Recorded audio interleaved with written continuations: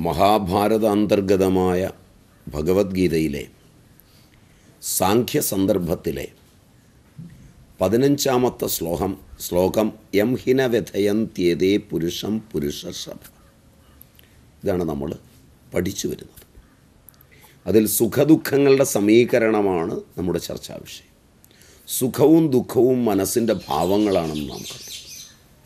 സുഖം പ്രയത്നിച്ചാലും കിട്ടില്ല എന്ന് നാം കണ്ടു. ദുഃഖം സർവത്ര ലഭ്യമാണെന്നും നാം കണ്ടു. മാത്രവുമല്ല മനസ്സിന്റെ ഭാവങ്ങളായ സുഖദുഃഖങ്ങൾ പുണ്യപാപങ്ങളുടെ അടിത്തറയിലാണെന്നും നാം കാണുകയുണ്ടായി. സർവോപരി അനുകൂലമായ അറിവാണ് സുഖമെന്നും പ്രതികൂലമായ അറിവാണ് ദുഃഖമെന്നും നാം അറിയേണ്ടതാണ്. അനുകൂല വേദനീയം സുഖം പ്രതികൂല വേദനീയം ദുഃഖം. എന്നും അറിയേണ്ടത് അതിനേക്കാൾ ഇന്ദ്രിയങ്ങളുടെ പ്രസന്നത സുഖത്തിലും ഇന്ദ്രിയങ്ങൾ അപ്രസന്നങ്ങളാകുന്നത് ദുഃഖത്തിലുമാണെന്നും അറിയേണ്ടത് ഇങ്ങനെയെല്ലാം സുഖദുഃഖങ്ങളെ കണ്ടിട്ട് അവയെ സമമാക്കുന്നതിനുള്ള ചതുരുപായങ്ങൾ. അപ്രത്യയം അസ്വീകരണം വിചാരം സാക്ഷി ഇതിലേതുപായവും നമുക്ക് സ്വീകരിക്കാം. അതിനുള്ള ആ ഉപായങ്ങളെ സ്വീകരിക്കുന്നതിനുള്ള തെരഞ്ഞെടുപ്പ് അതിൽ ഓരോന്നിനെ നമുക്ക് നോക്കാം. ഒന്ന് അപ്രത്യയം. ഇത് ദുഃഖങ്ങളെയും സുഖങ്ങളെയും സമീകരിക്കുന്നതിനുള്ള ഒരു സാധനയാണ്. സുഖം അഥവാ ദുഃഖം. രണ്ടിനെക്കുറിച്ചും ധ്യാനിക്കാതിരിക്കുക. അതിനെ നോക്കുകയില്ലെന്ന് തന്നെ ഉറയ്ക്കുക. തന്റെ കർത്തവ്യ കർമ്മങ്ങളെ ചെയ്യുക. ഇതാണ് അതിന്റെ വഴി. ഇതെങ്ങനെയാണ്? സുഖദുഃഖങ്ങളെ വിചാരം ചെയ്യുന്നത് കൊണ്ടാണ് അവ പ്രതീതമാകുന്നത്. പൂർവാനുമാനങ്ങളിൽ നിന്ന് സുഖത്തെയും ദുഃഖത്തെയും പ്രതീതമാക്കുന്നത് വിചാരം വഴിയാണ്. ശ്രദ്ധിച്ചു നോക്കിയാൽ പല കർമ്മങ്ങളിലും പല വിചാരങ്ങളിലും പല സങ്കല്പങ്ങളിലും വരെ സുഖവും ദുഃഖവും കടന്നുകൂടിയിരിക്കുന്നത് കാണാം. ചില സങ്കല്പമുണരുമ്പോൾ തന്നെ ആ സങ്കല്പത്തിൽ സുഖത്തെ കൊണ്ടുപോകും. സങ്കല്പത്തിലെ സുഖം അതേ സങ്കല്പത്തിന് മാറ്റം വരുത്തിയാൽ ദുഃഖമായിത്തീരും. സുഖം തരുന്ന സങ്കല്പങ്ങൾ വാക്കുകളായിത്തീരുമ്പോൾ ദുഃഖവും. ദുഃഖം തരുന്ന സങ്കല്പങ്ങൾ വാക്കുകളായിത്തീരുമ്പോൾ സുഖവുമായി തീരാറുണ്ട് ചിലതെങ്കിലും. അപ്പോൾ മനസ്സിനെ വാക്കിനെ കർമ്മത്തെ. സുഖം പ്രതീക്ഷിച്ചും സുഖം സങ്കൽപ്പിച്ചും സങ്കല്പത്തിൽ സുഖം അനുഭവിച്ചും വാക്കുതിർത്ത് ദുഃഖികളാകുന്നവർ ഒട്ടേറെ പേരുണ്ട്. അപ്പം ചില ജീവിതം എടുത്താൽ അവർ സങ്കല്പത്തിൽ സുഖിച്ചു വാക്പ്രപഞ്ചത്തിൽ ദുഃഖിച്ചു കർമ്മപ്രപഞ്ചത്തിലെത്തുമ്പോഴും സുഖദുഃഖങ്ങൾ മാറിമറിഞ്ഞു വരും. സങ്കല്പത്തിൽ സുഖവും വാക്കിലും കർമ്മത്തിലും ദുഃഖവും അനുഭവിച്ചേക്കാം. സങ്കല്പത്തിലും വാക്കിലും സുഖവും കർമ്മത്തിൽ ദുഃഖവും അനുഭവിച്ചേക്കാം. സങ്കല്പത്തിൽ ദുഃഖവും വാക്കിലും പ്രവൃത്തിയിലും സുഖവും അനുഭവിച്ചേക്കാം. സാധ്യതകൾ ഒട്ടേറെയാണ് അതുകൊണ്ട് സുഖദുഃഖങ്ങളെ പഠിക്കുമ്പോൾ മനോവാക്കായ കർമ്മങ്ങളെ സംയോജിപ്പിച്ച് പഠിക്കേണ്ടതുമാണ്. അല്ലാതെ കർമ്മം മാത്രമാണ് സുഖദുഃഖങ്ങളെന്ന് വിചാരിക്കരുത്. കൗരവരുടെ രാജ്യഭാരം സങ്കല്പത്തിൽ ദുഃഖമായിരുന്നു പാണ്ഡവർക്ക്.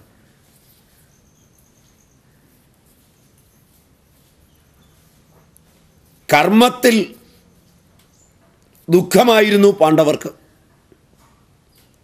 വാക്കിൽ ദുഃഖമായിരുന്നു പാണ്ഡവർക്ക്. പാണ്ഡവരാജ്യം വന്നപ്പോൾ സങ്കല്പത്തിൽ സുഖമുണ്ടായോ?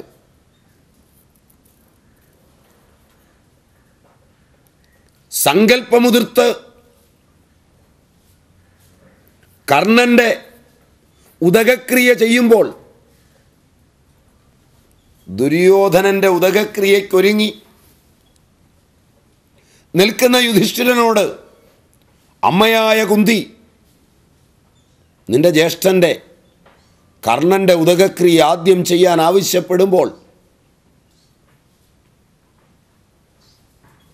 താൻ അതുവരെ സങ്കല്പിച്ച സാമ്രാജ്യമാകെ തകരുന്ന വിജയശ്രീലാളിതനായി വിജയം ആഘോഷിക്കുന്ന വേളയിൽ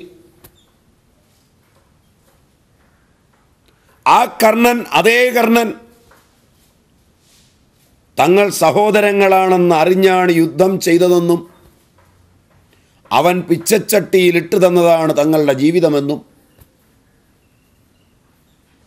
അവന് വേണ്ടിയാവണം ആദ്യത്തെ ഉദകക്രിയ ചെയ്യാനെന്നും സങ്കൽപ്പിക്കുന്നൊരു മുഹൂർത്തത്തിൽ യുദ്ധത്തെ അതിന്റെ ഗതീയതയെ സങ്കൽപ്പിച്ച യുധിഷ്ഠിരന്റെ അന്ധക്കരണം സങ്കൽപ്പത്തിൽ ഇന്ന് സുഖത്തിലായിരിക്കുമോ?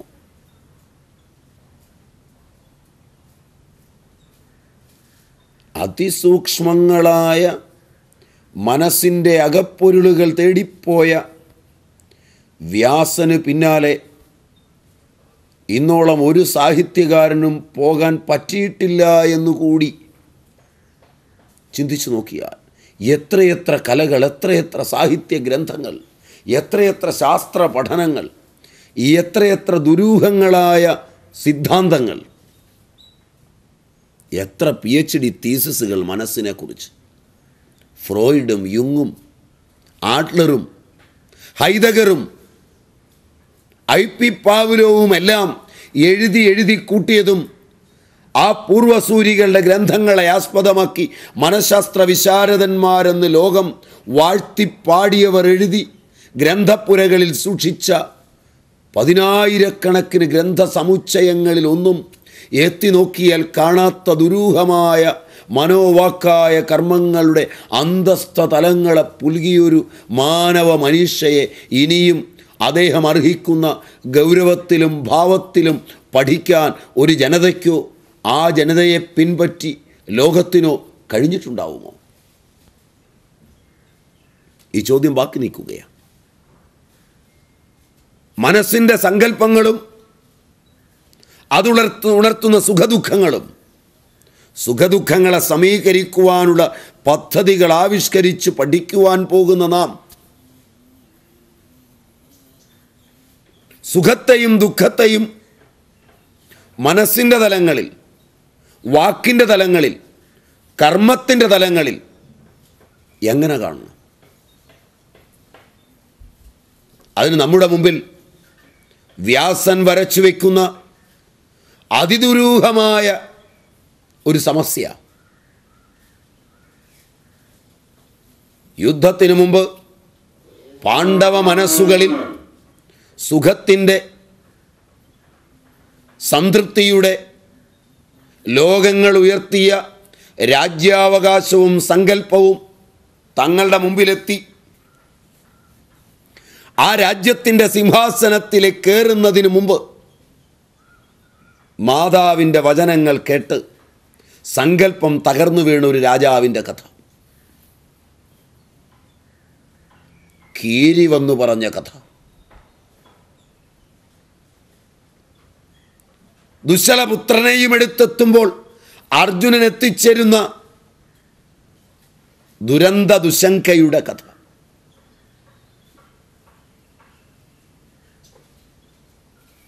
സങ്കല്പമായും വാക്കായും കർമ്മമായും രൂപാന്തരപ്പെടുന്നത് അത്രയും സുഖത്തെ പ്രതീക്ഷിച്ച് ചെയ്ത് വരുത്തിവെച്ച കർമ്മങ്ങൾ അത്രയും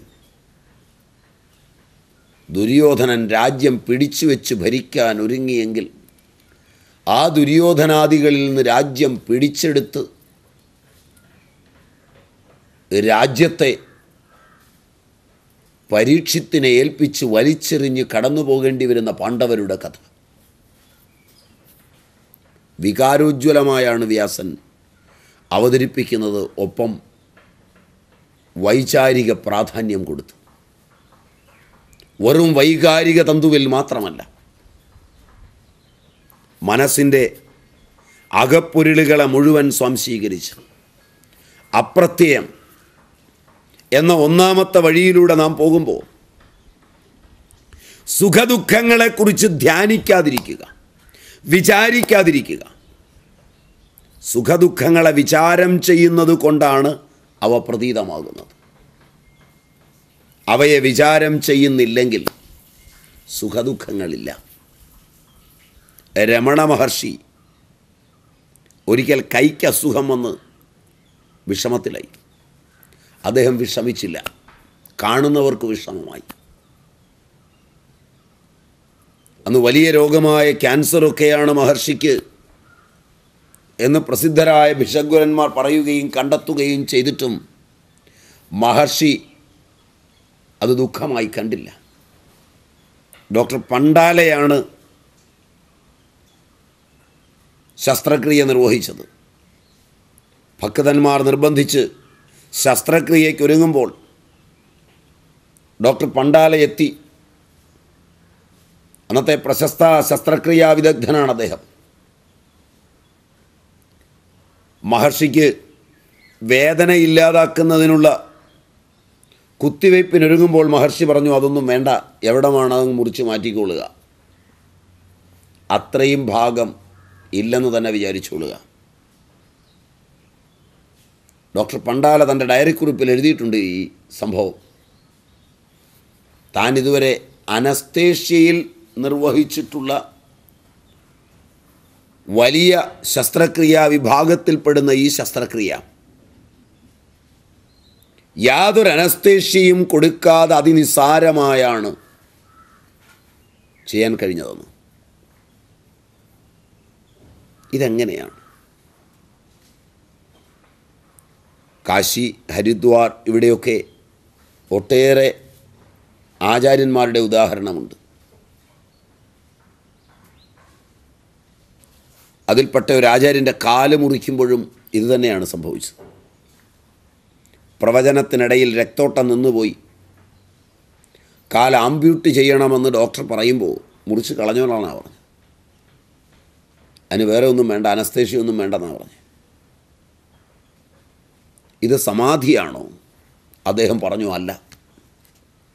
ആ മഹർഷീശ്വരനോട് ആ സന്യാസി ശ്രേഷ്ഠനോട് ഭക്തന്മാരിൽ ചിലർ ചോദിച്ചു അങ്ങ് സമാധിയിലായിരുന്നുവോ?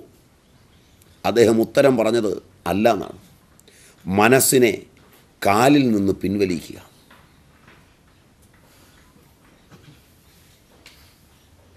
ഈ കാലഘട്ടം ഒട്ടേറെ രോഗങ്ങളാൽ വേദനിക്കുന്നവരുടെ കാലഘട്ടമാണ്. പ്രാചീന കാലത്തും രോഗങ്ങൾ ആളുകൾക്ക് വന്നിട്ടുണ്ട്. ഈ കാലഘട്ടത്തിൽ ആളുകൾ ചെരുപ്പൊക്കെ ഇട്ടാണ് നടക്കുന്നത്. ചെരുപ്പിട്ട് നടക്കുന്നു എന്ന് പറയുന്നതല്ല നല്ലത്. വളരെ കൂടുതൽ ആളുകൾ തോലന്മാരായി ഭൂമി മുഴുവൻ തോൽ വിരിക്കാൻ നടക്കുന്ന കാലമാണ്. തന്റെ മാത്രമല്ല ലോകത്തിൽ ആരുടെയും കാലിൽ മുള്ളുകൊള്ളരുത് എന്നുള്ള നിലയിൽ തോലന്മാർ അധികമുള്ള കാലം കൂടിയാണിത്. അങ്ങനെയുള്ള ഈ കാലഘട്ടത്തിൽ അനുഭവിക്കുന്ന വേദനകളുമായി പ്രാചീന കാലഘട്ടത്തെ മുളകളും മുള്ളുകളും മൂർഖൻ പാമ്പുകളും ഹിംസ്ര ജന്തുക്കളും ഒക്കെയുള്ള കാലഘട്ടത്തിൽ അവയ്ക്കിടയിൽ അധ്വാനിച്ച് ആഹാരമുണ്ടാക്കി ജീവിച്ച് മലമ്പ്രദേശങ്ങളും കാടുകളും കുലം കുത്തിയൊഴുകുന്ന നദികളും ഉരുൾപൊട്ടലുകളും ഒക്കെയായി ആധുനിക സങ്കേതങ്ങളൊന്നും സഹായത്തിനില്ലാതെ ജീവിച്ച മാനവന്റെ ജീവിത രീതിയോട് നാം ഒന്ന് നോക്കിയാൽ ഇന്ന് എല്ലാ സങ്കേതങ്ങളും വികസിച്ച് നിൽക്കുമ്പോൾ ക്യാൻസർ പോലുള്ള രോഗങ്ങൾ കൊണ്ട് വേദനിച്ച് പെയിൻ ആൻഡ് പാലിയേറ്റീവ് സാന്ത്വന ചികിത്സയുടെ ലോകങ്ങളിൽ വരെ മനുഷ്യനെത്തുമ്പോൾ അഞ്ച് പൈസ പോലും ചെലവഴിക്കാതെ മനസ്സിനെ നേരത്തെ തന്നെ സൂക്ഷ്മമാക്കി തന്റെ വേദനകളിൽ നിന്നെല്ലാം മനസ്സിനെ പിൻവലിപ്പിക്കുവാൻ പഠിപ്പിക്കുന്ന ഒരു ശാസ്ത്രം. അതിന്റെ ഔന്നത്യം. അപ്പോൾ അവിടെ അപ്രത്യയം. ആ സന്യാസി ശ്രേഷ്ഠനെന്ന് പറഞ്ഞത് മനസ്സിനെ കാലിൽ നിന്ന് പിൻവലിക്കാനാണ്.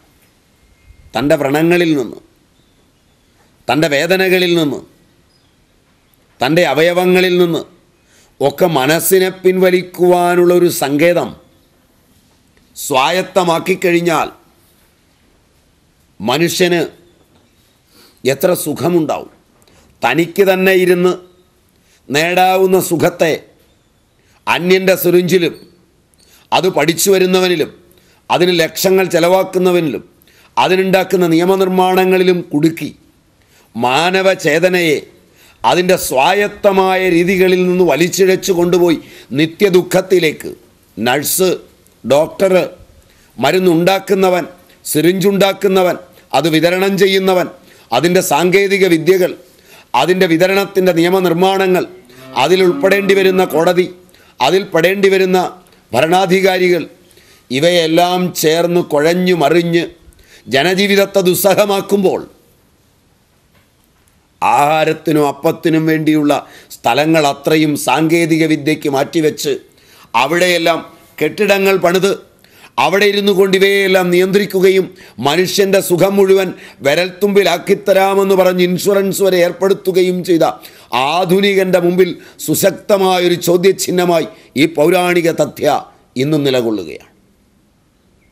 അവിടെയാണ് അപ്രത്യയം എന്ന ഒന്നാമത്തെ സുഖദുഃഖങ്ങളെ സമീകരിക്കാനുള്ള വസിഷ്ഠ ഗുഹയിലൊരു പുരുഷോത്തമാനന്ദ ഉണ്ടായിരുന്നു കേരളീയനാണ്.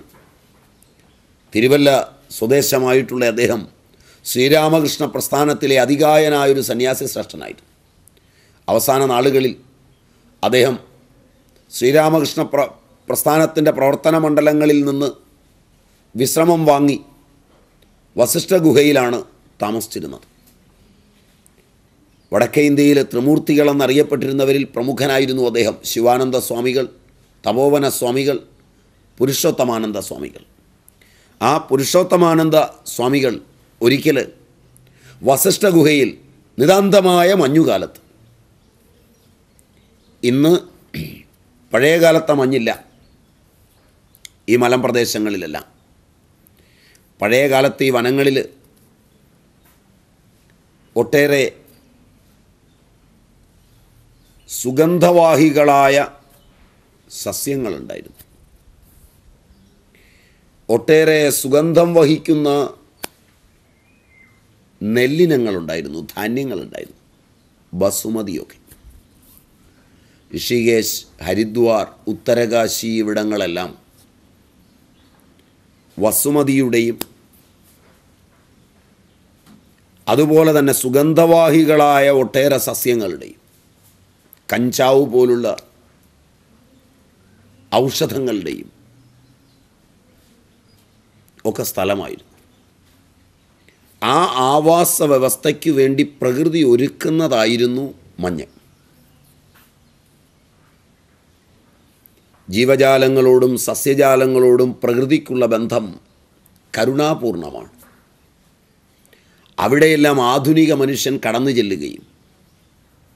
ദുരമുത്ത ആധുനിക മനുഷ്യൻ കച്ചവട സ്ഥാപനങ്ങൾ ആശ്രമങ്ങളെന്ന പേരിൽ സ്ഥാപിക്കുകയും. ആ തണുപ്പുള്ള സ്ഥലങ്ങളിൽ എ സി സൗകര്യങ്ങളും ഫാനുകളുമൊക്കെ ആശ്രമ സങ്കേതങ്ങളിൽ ഉണ്ടാക്കുകയും അവിടെയെല്ലാം യാത്രികളായ കച്ചവടക്കാരെയും മറ്റുള്ളവരെയും കൊണ്ട് നിറയ്ക്കുകയും. അവിടെ ആ മലയുടെ സൗന്ദര്യം നുകരുവാൻ ചെല്ലുന്നതിന് പകരം അവയെല്ലാം ഇടിച്ചു നിരത്തുവാൻ അതിനുള്ള ജെ സി ബിയും മറ്റും കൊണ്ടുപോവുകയും അവിടെയെല്ലാം റോഡുകൾ നിർമ്മിക്കുകയും അവിടെ ഡാമുകളുണ്ടാക്കി ജലത്തെ കെട്ടിനിർത്തുകയും മറ്റ് പ്രദേശങ്ങളിൽ വസിക്കുന്ന കേരളീയൻ ഉത്തരകാശിയിൽ താമസമാക്കുമ്പോൾ കേരളമാക്കി ഉത്തരകാശിയെ മാറ്റാൻ ഉത്തരകാശിയിലേക്ക് പോയ അവൻ കപ്പ കൊണ്ടുപോയി നടുകയും കുറേ കന്യാസ്ത്രീകളും കുറേ അച്ഛന്മാരും കുറേ മലയാളികളായ സന്യാസിമാരും ഹൈന്ദവ സന്യാസിമാരും എല്ലാം ചേർന്ന് ഉത്തരകാശിയെയും പരിസര പ്രദേശങ്ങളെയും ഒരു ചെറിയ കേരളമാക്കി മാറ്റി കേരളത്തിന്റെ മാതൃക പണിയാൻ അവിടെ കുടിയേറുകയും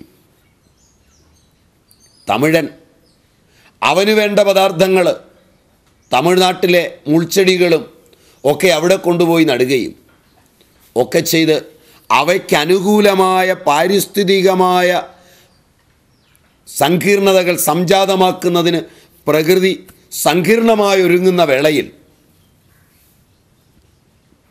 അവിടുത്തെ മഞ്ഞൊക്കെ ഇന്ന് മാറിപ്പോയിട്ടുണ്ട്. പഴയതുപോലുള്ള തണുപ്പൊന്നുമില്ല എങ്കിലും ഇന്നും തണുപ്പ് കാലത്ത് അവിടെ ഇരിക്കാൻ പ്രയാസമാണ്. നിബിഡമായ മഞ്ഞുകാലത്താണ് പുരുഷോത്തമാനന്ദ വസിഷ്ഠ ഗുഹയിൽ തന്റെ ശരീരം വിയർപ്പിച്ചത്. ഡോക്ടർമാർ അവിടെ എഴുതി ഇവിടെ തന്റെ മനസ്സിന്റെ മേൽ പൂർണ നിയന്ത്രണമുള്ള ഒരു യോഗിയാണ് താമസിക്കുന്നതെന്ന്. പാശ്ചാത്യരും പൗരസ്ത്യരുമായ അനേകം പിഷഗ്വരന്മാരുടെ സാന്നിധ്യത്തിൽ. വിയർപ്പ് ഗ്രന്ഥികളെ തന്റെ നിയന്ത്രണത്തിൽ നിന്ന് നിയന്ത്രി വിയർപ്പിക്കുവാൻ കഴിയുമെങ്കിൽ മനസ്സിനെ ഏത് ഗ്രന്ഥിയിൽ നിന്നാണ് പിൻവലിക്കാനാവാത്തത്? ഏത് ട്യൂമറാണ്? ഏത് വേദനയാണ്? ഏത് അവയവത്തിന്റെ ഘടനയാണ് മനസ്സെന്ന ഒന്നുകൊണ്ട് മാറ്റാൻ പറ്റാത്തതായുള്ളത്? മനസ്സിന്മേൽ നിയന്ത്രണം നേടുമ്പോഴാണ് മാനവൻ ആരോഗ്യത്തിന്റെ അത്ഭുത ലോകങ്ങളിലേക്ക് പ്രവേശിക്കുന്നത് തന്നെ. ഈ ഒരു സത്യത്തെ മനസ്സിലാക്കുവാൻ സുഖവും ദുഃഖവും സമീകരിക്കുവാൻ കഴിഞ്ഞാൽ തന്നെ പഴയ അമ്മമാർ മൺപാത്രങ്ങളും ഗ്ലാസ് പാത്രങ്ങളും കൽച്ചട്ടികളും ഉപയോഗിച്ചിരുന്നപ്പോൾ അവരുടെ കയ്യിൽ ഒരിക്കലും പൊട്ടാതെ അൻപതും അറുപതും കൊല്ലം വളരെ സുഖമായി കൊണ്ടുപോകാൻ കഴിഞ്ഞിരുന്ന പാത്രങ്ങൾ മനസ്സിന് നിയന്ത്രണം വിട്ട് ആധുനിക മനുഷ്യന്റെ കൈകളിലേക്ക് എത്തിയപ്പോൾ എത്ര പെട്ടെന്നാണ് ഉടഞ്ഞ് തകർന്ന് തരിപ്പണമായി പോയത്. ഉടയാത്ത പാത്രങ്ങൾ അന്വേഷിച്ചും. ഉടയാത്ത കോപ്പകൾ അന്വേഷിച്ചും. ആധുനികൻ നടത്തിയ അന്വേഷണങ്ങളുടെ പോക്ക് അവന്റെ മനസ്സിന്റെ വിനാശത്തിലേക്ക് മാത്രമായിരുന്നു എന്ന് സൂക്ഷ്മദൃക്കുകൾക്കെങ്കിലും മനസ്സിലാവേണ്ടതാണ്. മനസ്സ് എന്ന അത്ഭുത വസ്തുവിനെ തേടിപ്പോയ ആധുനികൻ അന്വേഷിച്ച് ചെന്നത് ദ്രവ്യങ്ങളിലാണെങ്കിൽ ദ്രവ്യങ്ങളെ അന്വേഷിക്കാതെ മനസ്സിനെ മാത്രം അന്വേഷിച്ച പൗരാണികൻ എത്തിച്ചേർന്നത് മനസ്സിന്റെ സ്വച്ഛസുഭകമായ തലങ്ങളിലാണ്. അതുകൊണ്ട് അപ്രത്യയം മനസ്സിനെ പിൻവലിക്കലാണ്. പലപ്പോഴും നമുക്ക് യാത്രയിലും മറ്റും ഇത് കിട്ടാറുമുണ്ട്. ആ അപ്രത്യയത്തെ ഒരു നല്ല ഉപാധിയായി സ്വീകരിച്ചാൽ സുഖദുഃഖങ്ങളെ സമീകരിക്കാം.